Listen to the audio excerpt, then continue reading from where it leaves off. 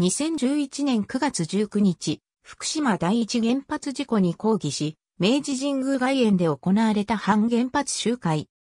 反核運動抗議とは、自身や第三者の権利に対して作為もしくは不作為による侵害をなすもの、あるいは義務を怠るとされるものに対して異議を申し立てることである。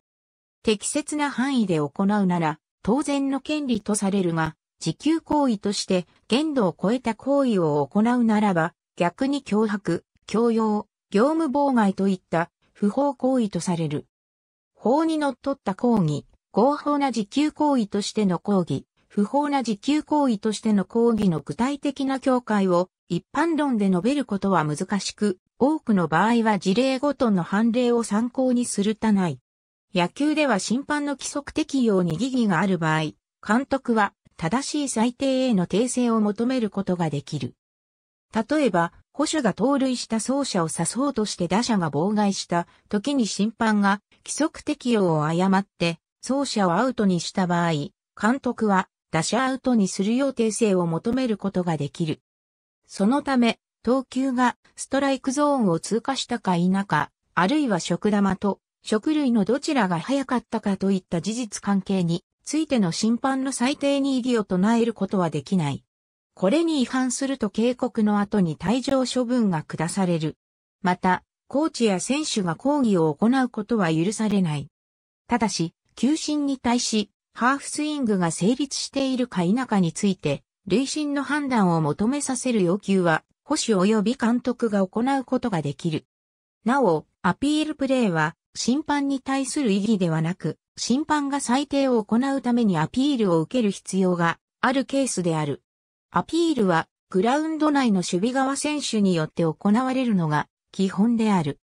個別のルール、観光高校野球では高校野球特別規則により審判委員に対して規則適用上の疑義を申し出る場合は首相、伝令、または当該選手に限ると定められている。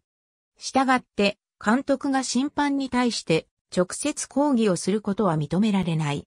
一方、プロ野球では、ルール上明確に禁止されている事実関係に関する判定への異議を行うことが黙認されている。抗議を受けて審判団が協議をした結果、判定が覆ることも稀にある。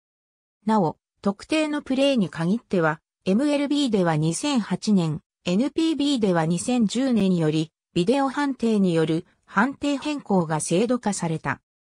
昭和時代の日本では延々1時間以上の講義が行われたこともあったが、2012年現在では5分間以上にわたって講義を続けると遅延行為として退場処分を受ける。また、講義の際に審判員に対して暴言を吐いたり暴行を加えた場合も同様である。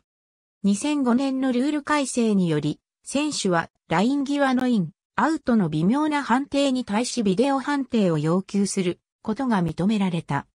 アメリカンフットボールのプロリーグである NFL では、審判の判定に疑義がある場合、一定の条件の下でヘッドコーチがビデオ判定を求めることができる。